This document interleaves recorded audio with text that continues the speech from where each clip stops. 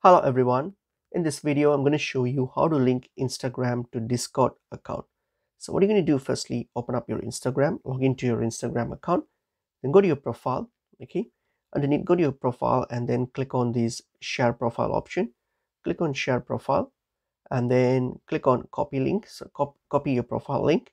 And then now what you can do, open up your browser. So go to any browser, open it up, okay? And then paste this paste this url that you just copied okay paste it and then click on go. This will take you to your instagram and then click on the url again and then just copy it right? Copy the url again from the chrome uh, chrome address bar. And then now go to your discord. So open up discord and go to discord.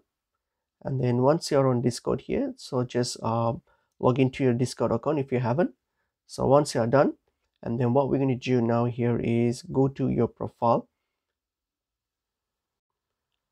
Click on the You tab here and then click on the settings gear which is on your top right.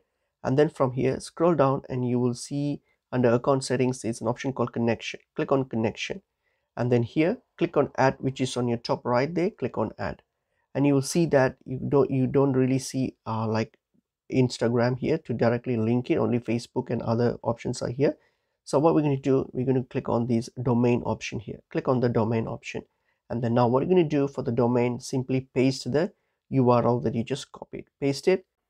So paste the link now here and then hit on next and complete the process. So this is the workaround we have as we can't directly link your Instagram to Discord server.